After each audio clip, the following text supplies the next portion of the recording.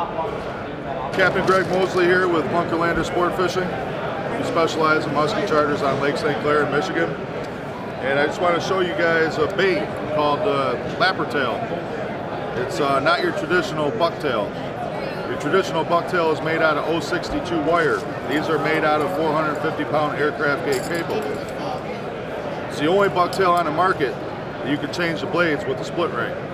So you could take a bait like this that you would run in dirty water, put some gold blades on it, you get into some clean water, and you change the whole dynamic of the bait. It's the only bucktail on the market you can do that. These ones have a UV skirt on top. This is something new. It's a new product line for this year. It's the only bait that you can just change the, the hooks with the simple split ring. Other ones you have to cut them off and they're pretty much garbage. Your traditional bucktail that's 062 wire, fish hits it, it bends it, you bend it back, you weaken the wire, pretty much no good. Best bucktail on the market. Made by this guy right here.